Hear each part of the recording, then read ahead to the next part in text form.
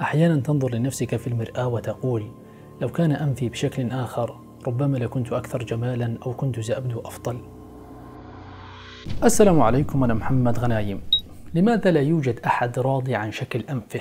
هذا عنوان دراسة قرأتها سألخصها لك ولكن بداية لنبدأ على بركة الله أحمد أخبرني هل أنت راضي عن شكل أنفك؟ نعم الحمد لله. هذا السؤال طرحته عليكم في استطلاع رأي صوت به أكثر من 65 ألف شخص. الحمد لله 80% منكم راضي عن شكل أنفه كما أحمد هنا. أحبكم هكذا واثقين من أنفسكم وشكلكم. الدراسة جاء فيها أن الأنف المثالي يجب أن يكون انحناؤه 106 درجة. ليس كما قال أحدكم في التعليقات على استطلاع الرأي أحلى أنف اللي ما بنحشر في حياة أحد.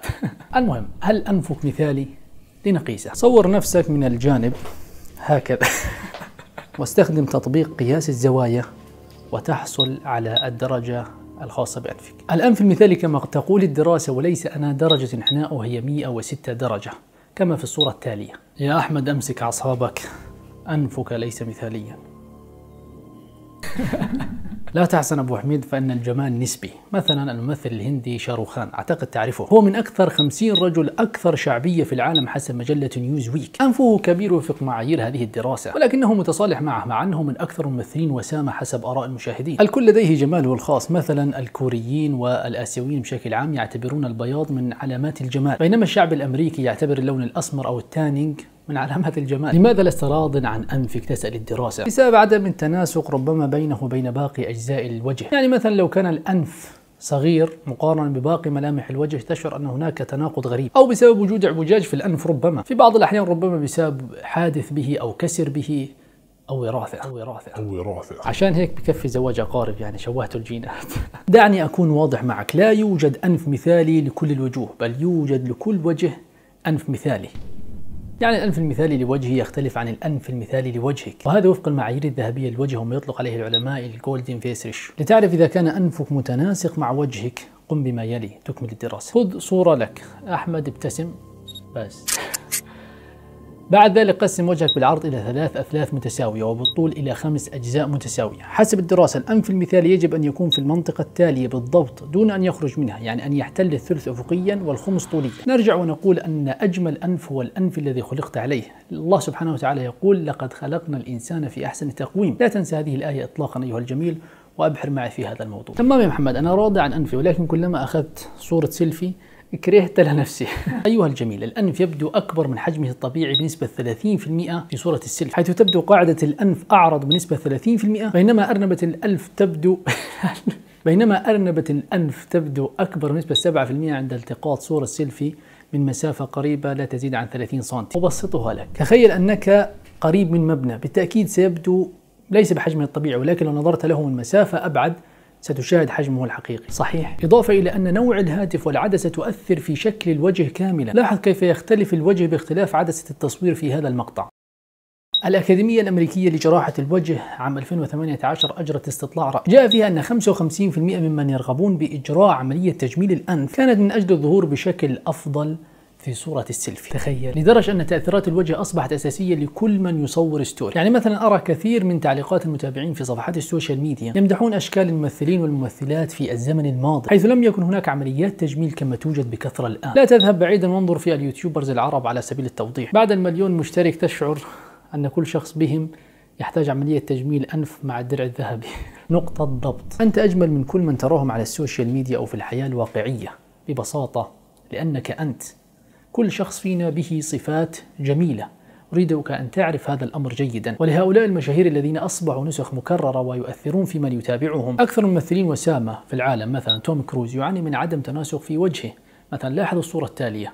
يعني لاحظ أسنانه. أغلب الناس أساسا تعاني من عدم تناسق في الوجه بشكل طفيف. هذا أمر طبيعي وليس أنك لست جميل مثلا. ويحدث عدم التناسق هذا هذا بسبب نوم الرضيع على جهة واحدة. لذلك يجب على الأم تغيير وضعية نوم الطفل باستمرار على جانبي الرأس. هذا نداء لكل الأمهات. أو يعود الأمر لأسباب أخرى مثل الالتحام المبكر لعظام الجمجمة. أو ضعف العصب السابع وأسباب أخرى كثيرة. في العادة عدم التناسق الطفيف لا يحتاج إلى عملية جراحية. لكن في بعض الأحيان قد تحتاج إلى تدخل طبي. لذلك متى يجب أن نجري أو نجري عملية تجميل للأنف أو الوجه بشكل عام؟ نجري ضليت جاري. يعني مثلا في حال حدوث كسر في عظم الأنف بسبب حادث أو تعرض ضربة قوية وهو ما يعرف بعملية ترميم الأنف. وهذه العملية بالمناسبة يجب أن تتم بعد الإصابة كحد أقصى 10 أيام. مثلا أيضا في حال وجود ميل في حاجز في الحاجز الأنفي أو وجود زوائد تؤثر على عملية التنفس بشكل عام تحتاج هنا عملية. أيضا مثلا التشوهات الخلقية في الأنف. كتضخم الغدد الموجودة بالأنف وبالتالي تضخم الأنف والكثير الكثير من الحالات. عافانا الله وإياكم وحكم ذلك شرعا.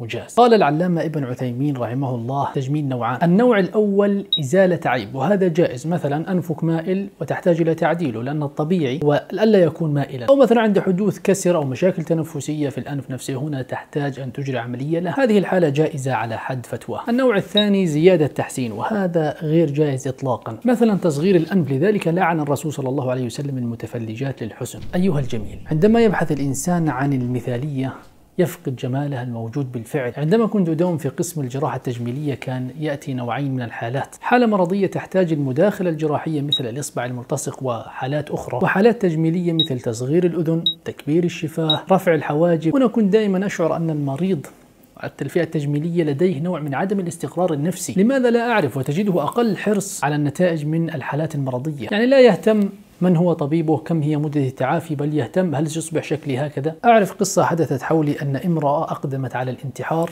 ولم تمت بسبب أن زوجها قال لها أنت سمينة تخيل. وبدأت تلاحق عمليات التجميل من أبسطها حتى أعقدها. لذلك هذه الكلمة أقدمها لأخواتنا الفتيات. كونهن الأكثر إقداما على هذا النوع من العمليات التجميلية. يا عزيزتي اعرفي تماما أن الجمال ليس جمال الروح. الجمال جمال الشكل لا نضحك على أنفسنا. جمال الروح شيء آخر. ولكن الله سبحانه وتعالى خلق لكل شخص فينا مواطن جمال في شكله هو يدركها تماما. وخلق لنا من أنفسنا ازواجا. هذا الزوج أنت من ضلعه. فهو يراك جميله لأنك بكل بساطة خلقت من ضلعه. فاهتمي لجمالك إلى حد ما. هذا أمر لا بد أن تفعل. ولكن لا تجعليه هوس بك كان يصل بك الأمر إلى عمليات التجميل لزيادة الحسن. التي لا تجوز. لأن من سيكون نصيبك في هذه الحياة كزوج هو بالفعل يراك جميلة لأنك من ضلعه. يعني ترى الكثير من الناس متيم بزوجه ولكن لو نظرت لهما أنت ربما تراهم الاثنان عاديين جدا. ولكنني متأكد تماما أنهم يرون أنفسهم في قمة الجمال. أتمنى أن أكون قد أوصلت الفكرة. في النهاية شاركني برأيك في مكان التعليقات وإذا أعجبكم المقطع لا تنسى الإعجاب به. ودمتم في أمان الله. ماذا يحدث خلال مدة حياتك؟ يبلغ عمر الإنسان 74 سنة وفق إحصائيات منظمة الصحة العالمية. طبعا الأعمار بيد الله. ما الذي يمكن أن يحدث خلال هذه المدة؟ على مدى حياتك لو حسبت كل شيء كسبته دون أن تنفق منه شيء ستكون مليونير. يعني لا يوجد شخص مر على هذه الحياة إلا جمع مليونا في حياته حسب الإحصائيات. يعني لو لم ينفق من أمواله شيء لأصبح حينها مليونير. بخيل نحن نسميه.